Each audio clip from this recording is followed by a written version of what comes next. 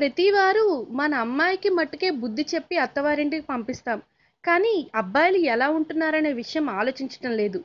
తల్లి కొడుకుకి చెప్పవలసిన ముఖ్యమైన ఐదు నియమాలేంటో చూద్దాం. ఏ సమయంలోనైనా తల్లితో భార్యని పోల్చకూడదు. తల్లి వేరు భార్య వేరు. తల్లికి ఇరవై ఏళ్ళ అనుభవం ఉంది. కానీ నీ భార్య నిన్ను పెంచిన విధముగానే తనని అల్లారు ముద్దుగా అరచేతిలో పెట్టుకుని పెంచి ఉంటారు. తనకి కొంచెం అవకాశం ఇవ్వటం నీ కర్తవ్యం. తర్వాత ఒక గొప్ప శ్రేష్టమైన ప్రేమమూర్తి అయిన తల్లిగా నీ బిడ్డకి ఉంటుంది.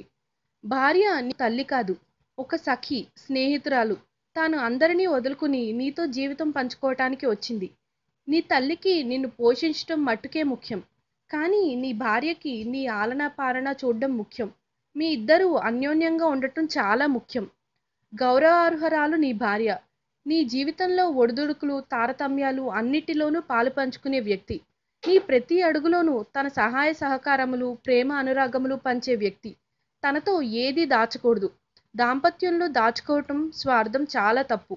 తనతో అన్నీ కలిసి తన అభిప్రాయాలు తెలుసుకుని ఏకీభవించి పయనించడమే సుఖ సంతోషమైన దాంపత్యం. మెట్టినింటికి వచ్చిన భార్యకు సహజంగా ఉండడానికి నువ్వు సహకరించాలి.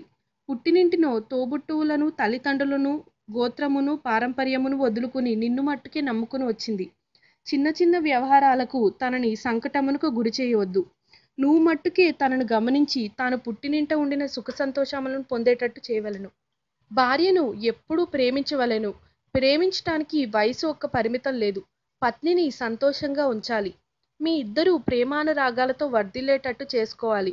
అతి ముఖ్యంగా గుర్తుంచుకోవాల్సింది ఏంటంటే మీ నాన్న నన్ను ఎలా గౌరవ మర్యాదలతో ప్రేమ అనురాగాలతో సుఖ సంతోషాలతో నడిపిస్తున్నారు?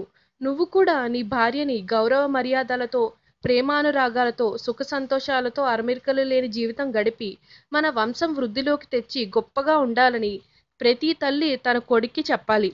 If you like the video please like us and subscribe Tollywood Nagar